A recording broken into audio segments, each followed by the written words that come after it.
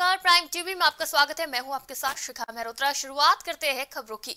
लखनऊ पहुँचे सीएम योगी आदित्यनाथ के आज कई कार्यक्रम है, जिसमें वो शिरकत करेंगे। अटल बिहारी वाजपेयी कन्वेंशन सेंटर में योगी मौर्य समाज सम्मेलन में शामिल होंगे। जिसके बाद वो आईजीपी में वैश्य समाज सम्मेलन में हिस्सा भी लेंगे। साथ ही ब्राह्मण परिवार लखनऊ का सोलहवा स्थापना दिवस समारोह में भी सीएम योगी आदित्यनाथ आज शिरकत करेंगे। यानी सीएम योगी आदित्यनाथ के आज कई कार्यक्रम है लखनऊ में, जिसमें से दो सम्मेलन है। एक, जो अटल बिहारी वाजपेयी कन्वेंशनल सेंटर में सीएम योगी मौर्य समाज सम्मेलन में शामिल होंगे और जिसके बाद वो आईजीपी में वैश्य समाज सम्मेलन में हिस्सा लेंगे। यानी कि दो सम्मेलनों में आज हिस्सा लेंगे। ये काफ़ी अहम होने वाला है क्योंकि चुनावी दौर है और ऐसे में सम्मेलनों का दौर तो चल रहा है। हर वर्ग का सम्मेलन किया जा रहा है। वैश्य व्यापारी समाज का सम्मेलन किया जाएगा इंदिरा गांधी प्रतिष्ठान में। साथ ही सीएम योगी आदित्यनाथ आज अटल बिहारी वाजपेयी कन्वेंशनल सेंटर में मौर्य समाज सम्मेलन में भी शामिल होंगे और साथ ही ब्राह्मण परिवार लखनऊ का सोलहवा स्थापना दिवस समारोह है, जिसमें भी सीएम योगी आदित्यनाथ शिरकत करेंगे। तो लखनऊ में आज कई कार्यक्रम है सीएम योगी आदित्यनाथ के, जिसमें कई समाजों को संबोधित करते हुए नज़र आएँगे, उपलब्धियाँ बताते हुए भी नज़र आएँगे और क्या कुछ काम करे है, किस समाज के लिए, ये बताते हुए भी सीएम योगी आदित्यनाथ नज़र आएँगे।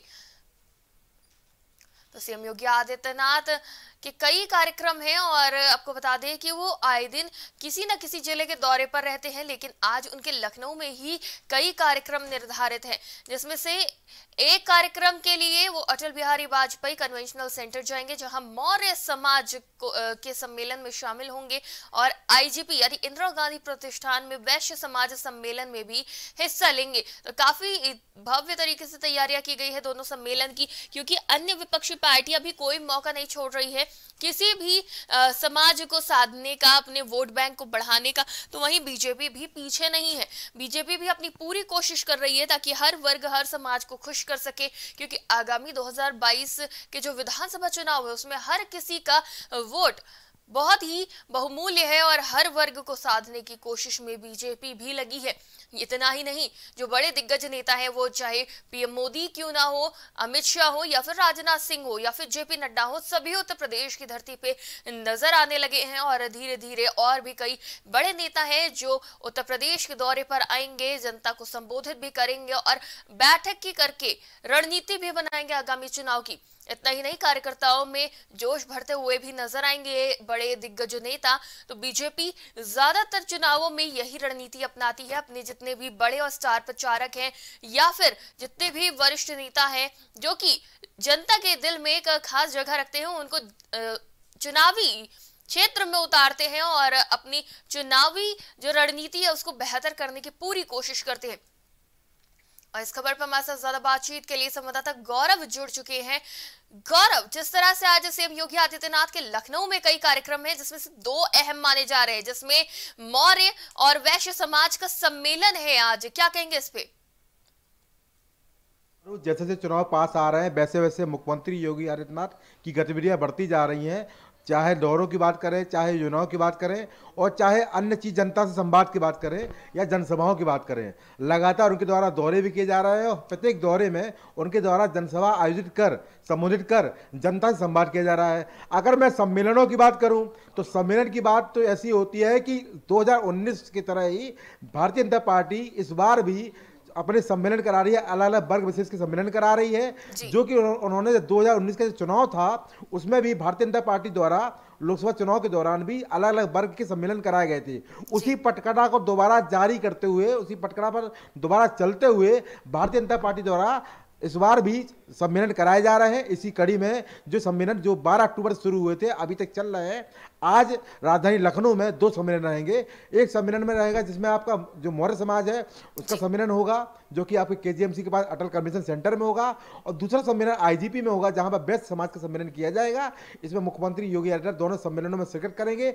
इसके अलावा साथ ही साथ लगभग लगभग दो बजे के लगभग तीन बजे पौने चार बजे के लगभग कृष्णा नगर में अखिल भारतीय ब्राह्मण महासभा का सोलवा स्थापना दिवस समारोह है। उसमें भी मुख्यमंत्री योगी आदित्यनाथ शिरकत करेंगे और उनके साथ देश के रक्षा मंत्री राजनाथ सिंह भी रहेंगे। जी गौरव सभी दल अलग अलग समाज का सम्मेलन कर रहे हैं लेकिन इन सब में अंतर क्या है?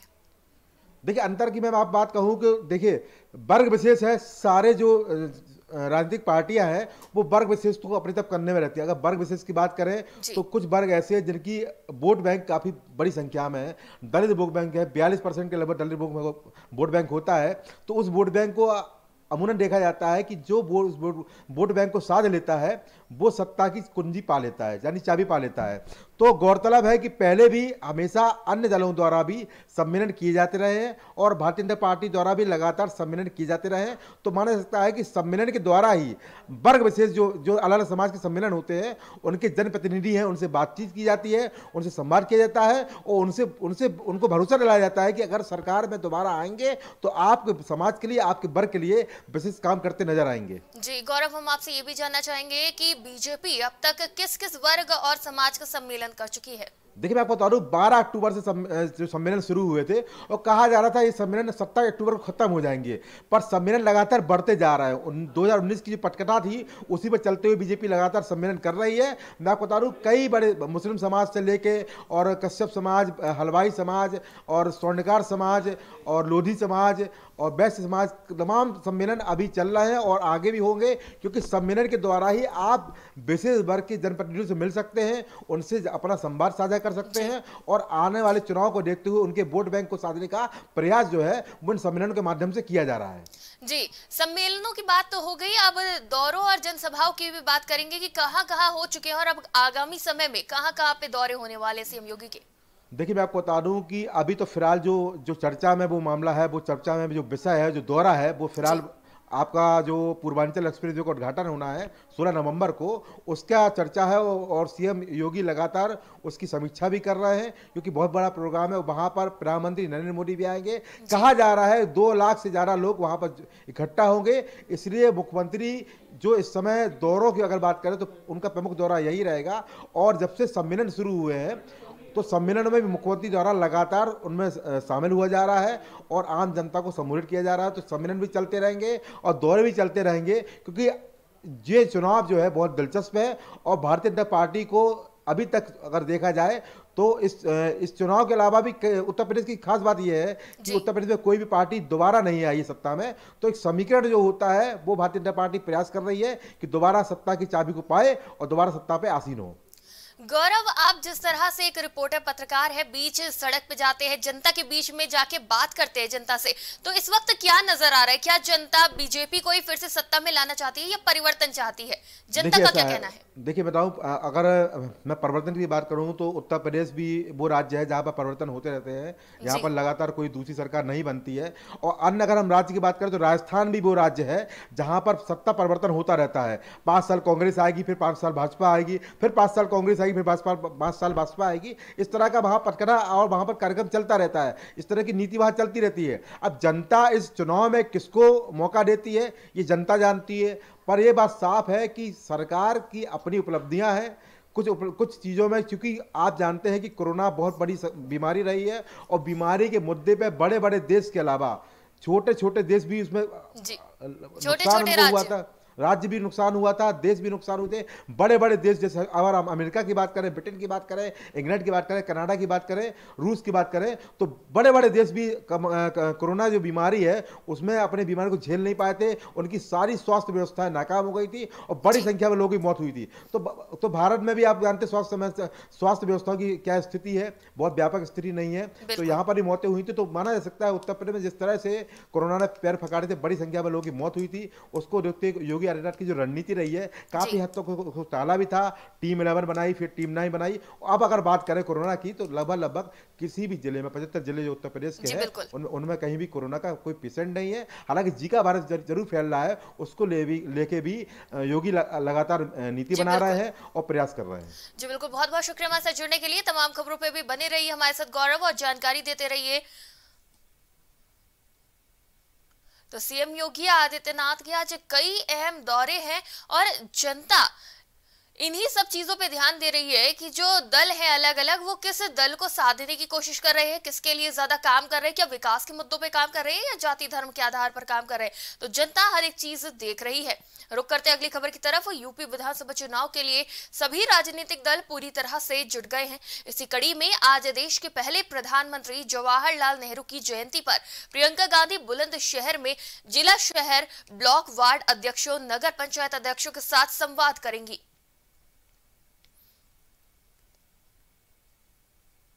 तो प्रियंका गांधी का आज मुख्य कार्यक्रम है, जवाहरलाल नेहरू की जयंती है। जिस वजह से प्रियंका गांधी बुलंदशहर में जिला ब्लॉक वार्ड अध्यक्षों और नगर पंचायतों के साथ संवाद करेंगी। आगामी इस समय में, यानी आने वाले समय में जो 2022 में विधानसभा चुनाव है, उसके चलते भी वो अलग अलग जिलों का दौरा कर रही है। लगातार उत्तर प्रदेश में बनी हुई है। तो कांग्रेस की तरफ़ से प्रियंका गांधी ने पूरी कमान संभाल ली है दो हज़ार बाईस के चुनाव की, और इसी के चलते वो अलग अलग जिलों के दौरे पर भी रहती है, और रणनीति बनाती रहती है कि किस तरह से जनता के बीच अपनी मौजूदगी दर्ज करानी है। वहीं अब जो नई नीति उन्होंने अपनाई है कि दिल्ली में सिर्फ़ दो दिन रहेंगी, बाकी हफ़्ते में बाकी दिन उत्तर प्रदेश में रहेंगी तो इसी के तहत वो अब सबसे ज़्यादा वक्त उत्तर प्रदेश में बिताती हुई नज़र आती है। अपने कार्यकर्ताओं के बीच मौजूद रहती है अलग अलग जिलों का दौरा करती है। कई बड़े मुद्दों को भी उठाती हुई नज़र आती है प्रियंका गांधी। तो वहीं आज बुलंदशहर में जिला ब्लॉक वार्ड अध्यक्षों और नगर पंचायतों के साथ, यानी कि कई बड़े अधिकारियों के साथ वो संवाद करती हुई नज़र आएँगी। जो हालात हैं उनके ऊपर जायजा लेंगी यूपी विधानसभा चुनाव के लिए। राजनीतिक दलों ने पूरी कमर कस ली है। इसी कड़ी में आज प्रियंका गांधी भी बुलंदशहर में नज़र आने वाली हैं। इसके पीछे एक मुख्य वजह यह भी है कि आज पहले प्रधानमंत्री जवाहरलाल नेहरू की जयंती है और इस जयंती के अवसर पर वो जनता को संबोधित करेंगे। आपको बता दें कि बच्चों के बीच भी मौजूद हो सकती है, क्योंकि जब जवाहरलाल नेहरू की जयंती की बात आती है तो इसे बाल दिवस के रूप में भी मनाया जाता है। और इस खबर पर हमारे साथ संवाददाता गौरव श्रीवास्तव जुड़े हुए हैं। गौरव, आज बुलंदशहर के दौरे पर रहेंगी प्रियंका गांधी। क्या कुछ कर सकती है?